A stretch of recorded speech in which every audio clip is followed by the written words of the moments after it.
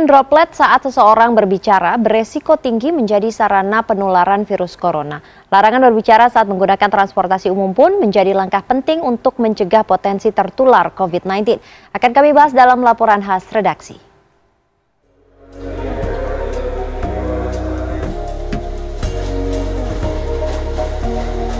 pengguna jasa KRL untuk tidak berbicara secara langsung maupun melalui sambungan telepon genggam selama berada di dalam rangkaian kereta. Kebijakan melarang penumpang kereta rel listrik KRL untuk berbicara baik secara langsung maupun telepon seluler saat berada di dalam gerbong mulai diterapkan PT KCI sejak akhir Mei 2020.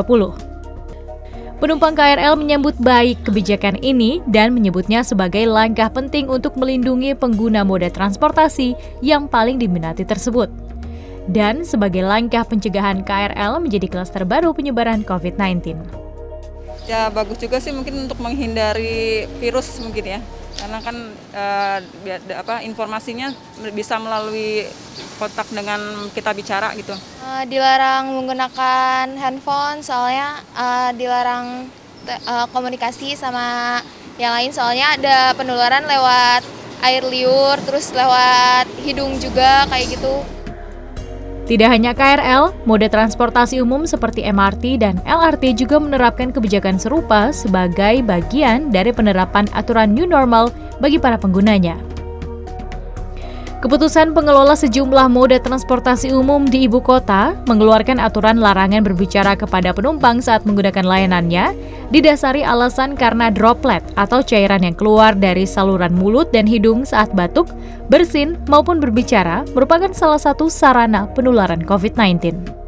Itu sekali lagi uh, untuk virus ini apalagi kemudian uh, uh, powerful atau bersin yang bertenaga kuat atau berteriak, berteriak itu, maka uh, peluangnya sekali lagi ada yang disebut dengan makro droplet yang ukurannya mikron itu tentu akan langsung jatuh, tapi mikro droplet atau bahkan nano droplet itu uh, bisa akan lebih lama. Tidak berbicara merupakan langkah terbaik untuk mencegah potensi penularan saat berada di transportasi umum. Mengingat kita tidak dapat membedakan mana individu yang merupakan orang tanpa gejala atau OTG dan mana orang yang betul-betul sehat. Nah, salah satu cara yang bisa kita lakukan untuk bisa tetap berkomunikasi dengan teman ataupun kerabat di tengah kebijakan larangan berbicara dalam gerbong kereta adalah dengan menggunakan pesan singkat yang menandakan bahwa Anda akan menghubungi orang itu kembali saat Anda sudah tidak berada dalam gerbong kereta lagi. Tetap mematuhi protokol kesehatan seperti mengenakan masker untuk menahan laju droplet, tidak berdesakan, dan tetap menjaga jarak aman dengan orang lain minimal 1 meter. Sebab droplet dari seseorang yang batuk baru jatuh setelah mencapai jarak minimal 1 meter. Saat akan naik atau berada di dalam moda transportasi publik merupakan langkah lain yang harus diterapkan agar terhindar dari kemungkinan terpapar COVID-19.